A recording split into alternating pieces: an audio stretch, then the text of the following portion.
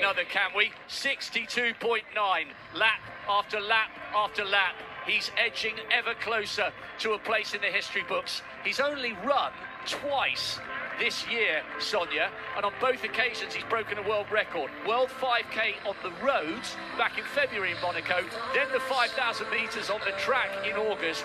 If he does this, though, there's such a mystique there's such a majesty about the 10,000 metres, 25 soul-destroying laps of a track.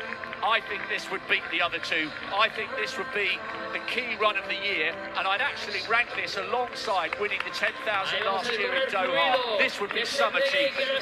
I think it would just be another stamp of approval of his greatness, and it's hard to even hear what's going on here now with three laps to go, and this is very, very. We're 23 up. That's another 63 second lap there. I mean, he's just like knocking off these laps even after even after even, and I can see a sprint coming for the last lap. So I'm, I don't know. I think we can start.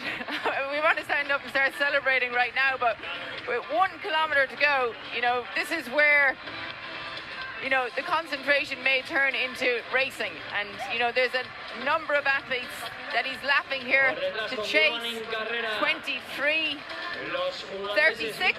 With one kilometre to go, he has 1.5 seconds under his projected time, which is well under world record pace. So this is definitely, it's been the world record day in Valencia today. It's been named that.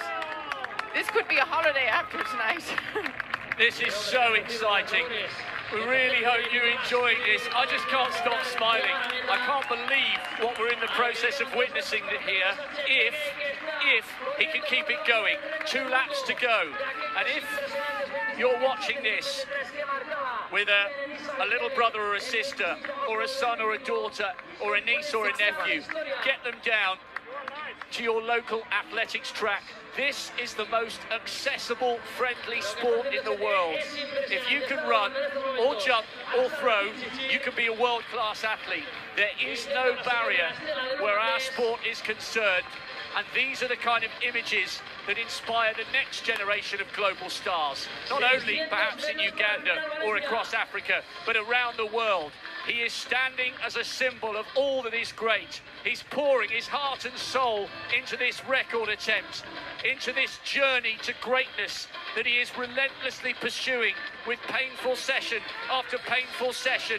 And he's tantalizingly close now to doing something he may not have thought was possible six or seven years ago. The world junior champion, the world senior champion has 400 metres to go. Can he do it? Can he keep it going? He's ahead of the green lights at the moment. Another 63, but 63.8. He's getting tired but he's flying the flag brilliantly for Uganda. He comes from the Sabiny tribe, who traditionally have a low standing in Ugandan culture, but he's rewriting what's possible in his country. He's a shining example of all that is possible with determination. He's a slight man, but he's big in personality, big in talent, and big in ambition. This has been absolutely incredible here. Coming round, He's just got to keep driving.